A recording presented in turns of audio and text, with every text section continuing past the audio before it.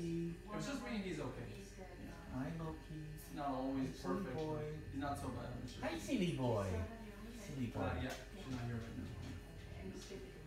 Yeah.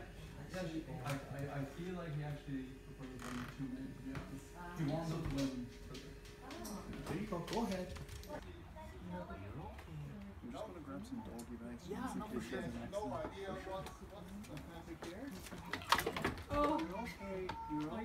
Okay, Loki. It's alright, go ahead, just keep going. It's okay. So. You're okay.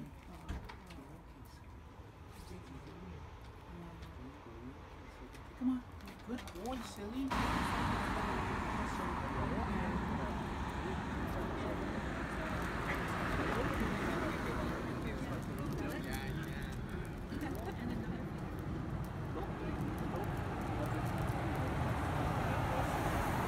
Come on, wait, you're okay.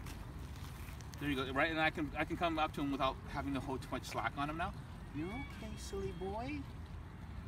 Good boy. Right, because we want to watch everything that's going on in his eyes and his body, and then that way we're letting him know he's feeling safe. Hi, silly boy. Because he's not worried about me, he's not worried about you, because you've covered that area. That area there, you've covered. And me, I've covered this area.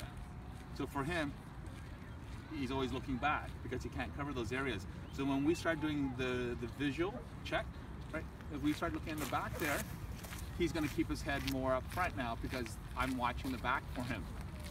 Do you see that? Right, Loki? Hi, silly boy. And if I turn my head over here, then he'll start to look at the back again. Because that part. Hi, silly boy.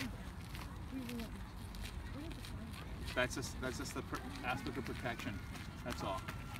Okay, let's go, silly. Come over here. Good boy, Loki.